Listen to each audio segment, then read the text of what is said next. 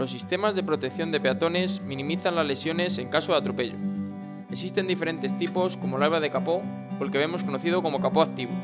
Muchos fabricantes cuyos vehículos incorporan estos sistemas prohíben reparar o incluso pintar sus paragolpes, donde se alojan los sensores que detectan el atropello, alegando fallos de funcionamiento, lo que incrementa costes de reparación y es menos sostenible medioambientalmente.